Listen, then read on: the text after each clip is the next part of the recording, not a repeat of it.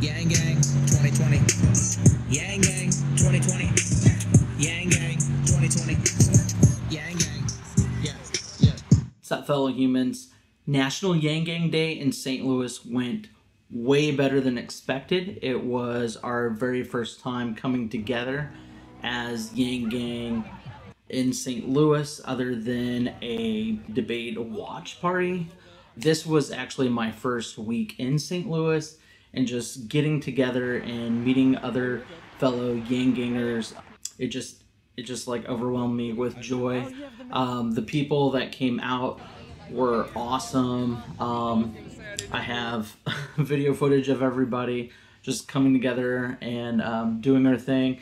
Um, it- we are a small group right now, so if you are within the St. Louis, Missouri area and you would like to come and volunteer and partake in what we have going on and basically yanging the city, um, our hashtag officially right now is hashtag Yang, capital Y A N G, and then capital S, capital T, capital L, Yang STL, and that's what we're trying to do. Is we're just gonna go out and um, do these casual events and just kind of, you know, work in the conversation. Um, actually, this past weekend it was pretty awesome because we had people coming up to us.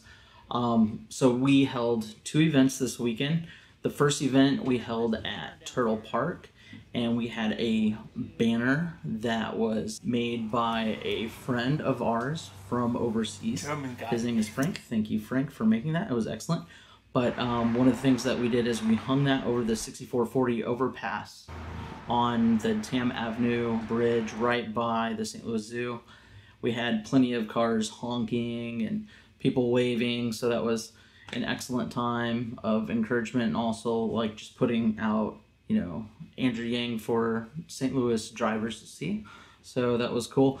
Our second event, um, we did canvassing at the Grove Fest Music Festival, and that was a lot of fun. Um, one, it's just a fun atmosphere to be in, and two, uh, we had a lot of positive responses from the conversations that we had. In addition to us approaching people and talking to them about Andrew Yang, we also had people approach us and ask us, "Hey, what's up with these these math hats that they saw all of us wearing?"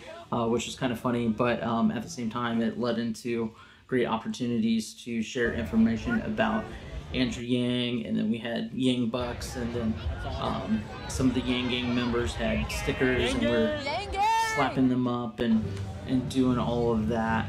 Um, we have more events planned for the near future, so just check out all the stuff that's going to be linked down in the description.